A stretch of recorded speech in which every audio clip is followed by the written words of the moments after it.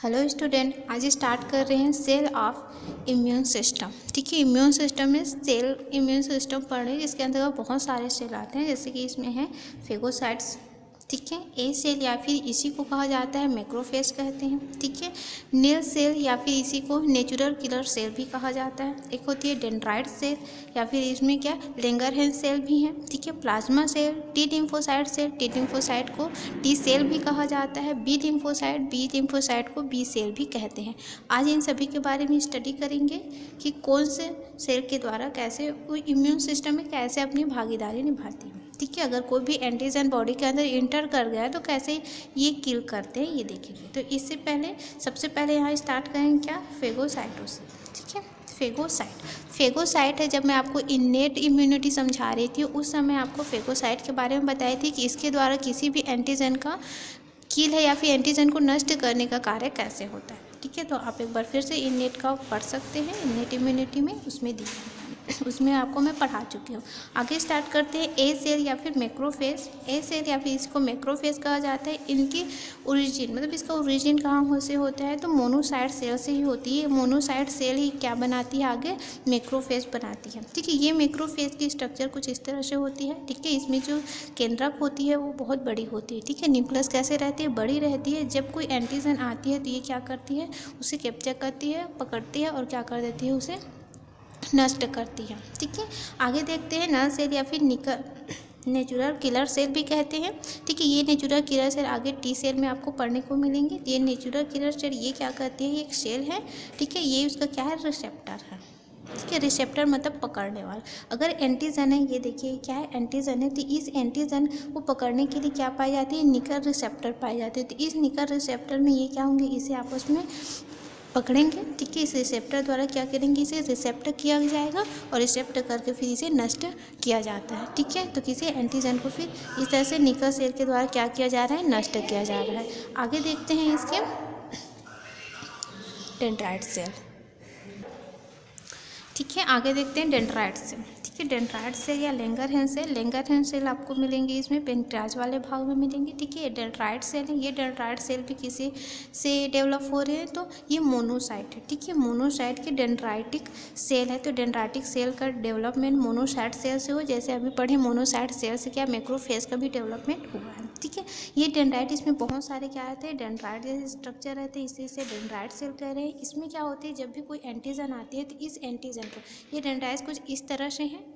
ऐसे ये मान लीजिए पूरा क्या है डेंड्राइट सेल है, इसमें क्या है उसका न्यूक्लियस वाला पोर्शन ठीक है? तो क्या होती है, कोई भी एंटीजन आ रही है तो उसे क्या करती है, पकड़ती है, ठीक है? और केंद्रक में ले जाकर फिर क्या कर देती है, उसे नष्ट कर देती है। तो इस तरह से डेंड्राइट सेल के द्वारा क्या होती है एंटीजन का एंटीजन को नष्ट किया जाता है। आगे आते हैं टी सेल और बी सेल ठीक है? टी सेल और बी सेल एक सेल बचा हुआ है प्लाज्मा सेल ये प्लाज्मा सेल बी सेल ही बनाती है। तो पहले हम लोग जान लेते हैं टी सेल और बी सेल तो टी सेल को टी सेल क्यों कहा गया? बी सेल को बी सेल क्यों कहा गया? ठीक है? इसे बी लिम्फोसाइट सेल क्यों कहते हैं और टी टी लिम्फोसाइट क्यों कहते हैं और इसका ओरिजिन कैसे होता है? ये हम एक डायग्राम से समझते हैं। ये क्या स्टेम सेल है? स्टेम सेल बोन मेरो में होती है। ठीक है? ये बोन मेरो है।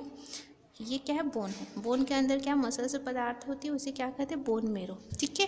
तो ये जो बोन मेरो है, इसमें क्या रहती है? स्टेम सेल रहती है। यही स्टेम सेल आगे क्या होती है? लिम्फ सेल बनाती है। ठीक है? किसका फॉर्मेशन करती है? लिम्फोसाइड का फॉर्मेशन तो ये क्या है? इमेच्योर मतलब पूर्ण रूप से क्या हुआ? परिपक्व नहीं हुआ। तो ये जो इमेच्योर इमेच्योर लिम्फोसाइट बनाती ये जो लिम्फोसाइट है, ठीक है?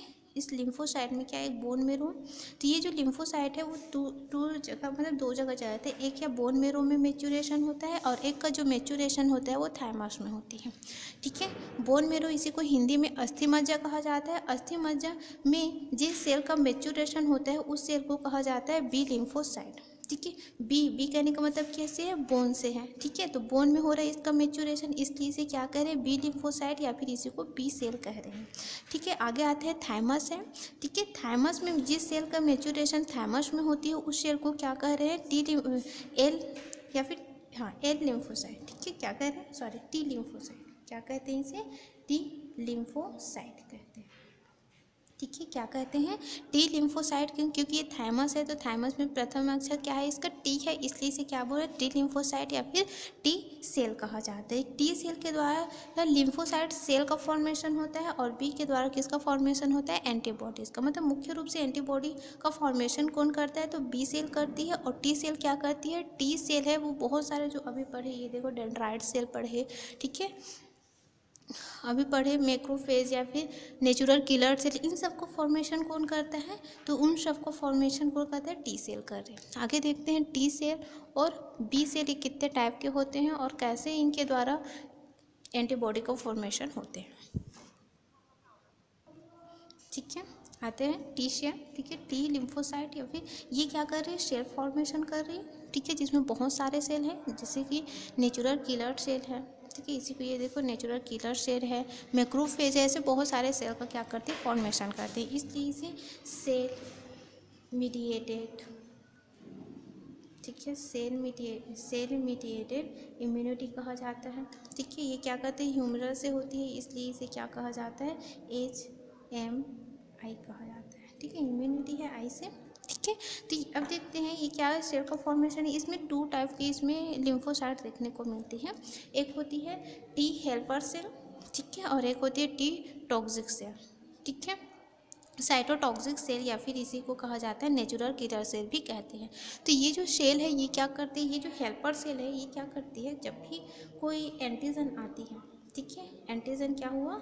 इंटर किया, ये बॉडी है तो बॉडी के अंदर क्या कर रहा है? एंटीजन है वो। इंटर कर रही है तो इंटर करती है तो इनकी जो सूचना है, ठीक है, किसे देती है? बी लिम्फोसाइट को। सूचना देने का कार्य क्या कर रही है? टी हेल्पर सेल करती है। मतलब ये क्या कर रही है? हेल्प कर रही है। या फिर कोई भी क्या करती है केमिकल का रिलीज़ करती है, जिससे पता चल जाता है कि यहाँ पर क्या है? बैक्टीरिया है करके, या फिर एंटीजन आया है। आगे जो ये टी सेल है टी सी से। सी मतलब इसमें साइटो टॉक्सिक सेल होती है, ठीक है? तो ये जो टी साइटो टॉक्सिक सेल या फिर इसी को कहा जाता है नेचुरल कीड़ा सेल ये नेचुरल कीड़ा सेल क्या करते हैं? अगर एंटीजन आया तो उसे क्या करते हैं? नेचुरल रूप से इसे किल करने का कार्य करते हैं मतलब इसे नष्ट करने का कार्य करते हैं। तो इस तरह से क्या होती है? टी लिम्फोसाइट आगे आते हैं। बी लिम्फोसाइट ये क्या करती हैं? जब भी कोई एंटीजन आती है तो बॉडी के अंदर क्या होती है? इनकी फॉर्मेशन पहुँचती है इन्फॉर्मेशन पहुँचती है। ठीक है? तो ये मान लीजिए कौन सा है? ये बी सेल है। तो जै बी सेल ठीक है? और ये है एंटीजन ये एंटीजन है। जैसे बॉडी के अंदर इंटर करती है, वैसे ही क्या होती है? ये जो बी सेल है, इसमें बहुत अधिक क्या होने लगते हैं? ड्यूजन होने लगते हैं। ठीक है? जो बना रही हूँ, क्या है? बी से तो बहुत सारे क्या होते हैं? इसका ड्यूजन बन ड्यूजन होने लगते हैं। है ना? क्या हो रही है? बहुत अधिक इसका ड्यूजन होकर ये बहुत सारे सेल बना लेते हैं। ठीक है? जब ये बी सेल है अगर आ, इसे क्या है कोई भी एंटीजन है अगर एंटर करती है तो ये एक सेकेंड ठीक है? एक सेकेंड में कितना? बीस हज़ार सेल बना लेती है। ठीक है? बीस हज़ार कौन से सेल बी सेल बना लेती है और क्या करती है? एंटीजन को नष्ट करने का कार्य करती है। है यहाँ तक आ रही है समझ में? क्या हो रही है? कितना सेल बना रही है? एक सेकेंड में। मतलब बहुत अधिक ये क्या कर करते हैं? ड्यूजन करती है। ये जो बी लिम्फोसाइट सेल है, ये बी लिम्फोसाइट में क्या होती है? मेमोरी सेल होती है। ठीक है इसमें क्या रहती है? मेमोरी सेल मेमोरी सेल है। तो इसका सेल क्या है? एंटीबॉडी का ही काम कर रहा है। एंटीबॉडी ठीक है एंटीबॉडी के फॉर्मेशन करते साथ में इसके सेल किसकी तरह कार्य करती है? मेमोरी की तरह कार्य करती है। मेमोरी की तरह कैसे? ये जान लेते हैं। अगर कोई एक एंटीजन है वो बॉडी के अंदर इंटर किया। ठीक है? बॉडी के अंदर क्या किया? इंटर किया तो इसके प्रति क्या बना लिया? एंटीबॉडी बना लिया। ठीक है? अब एंटीबॉडी बनाने के बाद ये क्या हो जाएँगे? ठीक हो जाएँगे। और फिर से अगर यही, इसी प्रकार यही बैक्टीरिया अगर फिर से बॉडी के अंदर क्या हो रही है? इंटर कर रही है या अटैक कर रही है तो उस उस समय क्या करेगी ये जो मेमोरी सेल है वो पहचान लेगा कि ये पहले भी ये ये सेल आ चुका है तो इसके लिए कौन सा एंटीबॉडी है? फिर उसका, उसे क्या कर देता है? पहचान कर उसे नष्ट करने का कार्य करता तो इस तरह से इसमें क्या होती है? मेमोरियल सेल होती है। ठीक है, जो याद रखती है कि पहले भी वो एंटीजन है, वो बॉडी के अंदर इंटर कर चुके हैं तो उसके लिए क्या बने एंटीबॉडी क्या रहेंगे। ठीक है, यहाँ तक आ रही समझ में। इसमें भी कुछ मेमोरियन सेल होती है, लेकिन मेमोरी सेल स्पेसिक इसमें ज़्यादा देखने को मिलती है बी सेल में देखने को मिलती है। ठीक है, यहाँ तक आ रही है समझ में। आज के लिए बस इतना ही। फिर नेक्स्ट डे स्टार्ट करेंगे न्यू यूनिट ठीक है, आपका ये जो सेकेंड यूनिट चल रही थी फ़र्स्ट पेपर का, वो कंप्लीट हो गया। ठीक है। आज के लिए बस इतना ही। Thank you